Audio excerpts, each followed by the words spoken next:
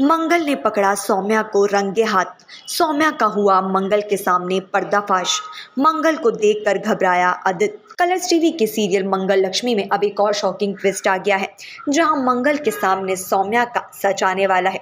दरअसल सौम्या ने अपनी और आदित्य की शादी की तैयारियाँ शुरू कर दी हैं।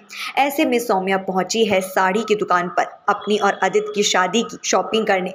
यहाँ सौम्या ने खास आदित्य को भी बुलाया है। आपको बता दें कि सौम्या ने यहाँ पर अपने और आदित्य के लिए शादी के जोड़े सिलवाए हैं, जहाँ सौम्या ने अपनी चुनरी पर आदित्य का नाम भी लिखवाया है। सौम्या वहाँ शॉपिंग कर ही रही होती है कि तभी वहाँ मंगल की एंट्री हो जाती है और मंगल वहाँ सौम्या को देख लेती है और मंगल के हाथों वो दुपट्टा लग जाता है, जिसमें आदित्य का नाम है। सौम्या कैसी भी करके वो दुपट्टा मंगल से ले लेती है, जिसके बाद सौम्या मंगल को बताती है कि वो यहाँ पर अपनी फ्रेंड की शादी की शॉपिंग करने आई हैं, जिसके बाद मंगल अपने काम में बिज़ी हो जाती है, लेकिन उसके बाद मंगल को सुनने में आता है कि दुकान वाला सौम्या को बोलता है कि आपकी शादी का जोड़ा तैयार हो गया है।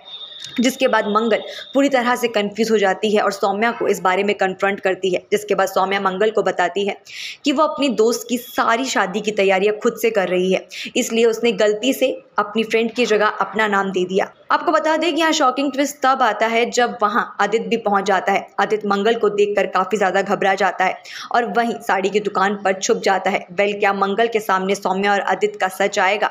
क्या सौम्या और आदित्य की शादी हो पाएगी? ये देखना काफ़ी ज़्यादा दिलचस्प होगा। वेल इस पूरी अपडेट के बारे में आपकी क्या राय है?